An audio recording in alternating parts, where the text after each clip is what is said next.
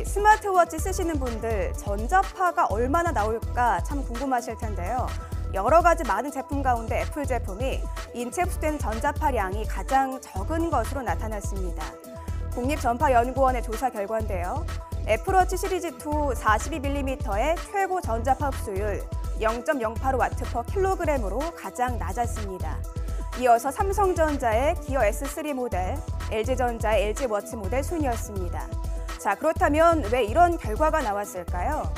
애플의 스마트워치는 스마트폰과 연동해서 사용하는 블루투스 모델만 출시했죠. 그런데 삼성과 LG는 자체 통신이 가능한 LTE 모델도 함께 출시했기 때문으로 분석됐습니다.